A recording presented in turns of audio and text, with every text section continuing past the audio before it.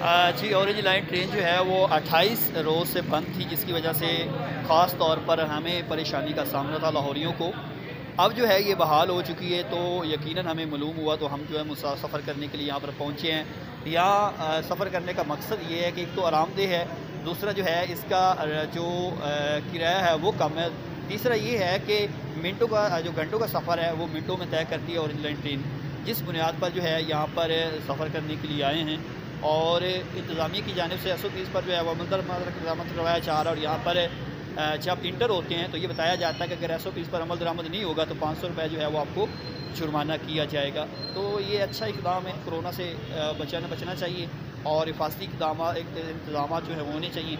लेकिन अब जो है ऑरेंज लाइन ट्रेन को बंद नहीं किया जाना चाहिए, क्योंकि ये गरीब की सवारी है, सस्ती सवारी है और लाहौर भर से बल्कि दूसरे शहरों से आए लोग भी इस पर सफ़र करते हैं।